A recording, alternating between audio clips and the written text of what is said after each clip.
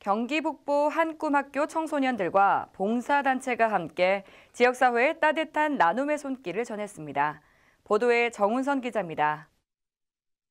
의정부 한꿈학교 앞에서는 학생들과 지역 장애인들, 어르신들을 위한 무료 간식 나눔 호두 과자 만들기가 한창입니다. 28일 2021년 의정부시 자원봉사센터 우수 프로그램으로 선정된 사단법인 천사보금자리 봉사단은 찾아가는 무료 간식 나눔을 진행했습니다. 오늘은 경기 북부의 한꿈학교 우리 탈북민 청소년들이랑 같이 함께 나눔을 하고자 합니다.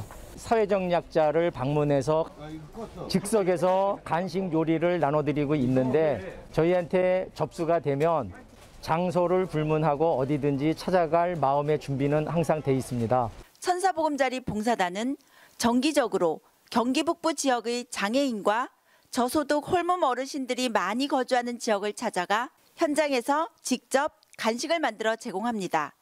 이번 나눔은 의정부 장암 임대아파트 단지에서 진행되었으며 특별히 그곳에 위치한 한꿈학교 학생들도 나눔에 참여했습니다.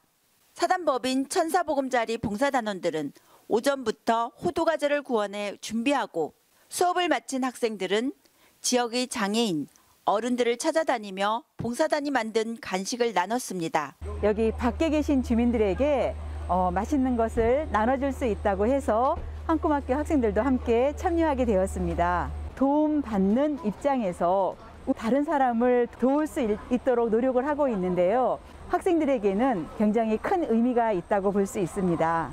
코로나로 어려운 상황 속에서도 꾸준히 이어나가는 봉사단의 나눔의 실천이 학생들 가슴에 이웃사랑을 심어주는 의미 있는 시간이었습니다.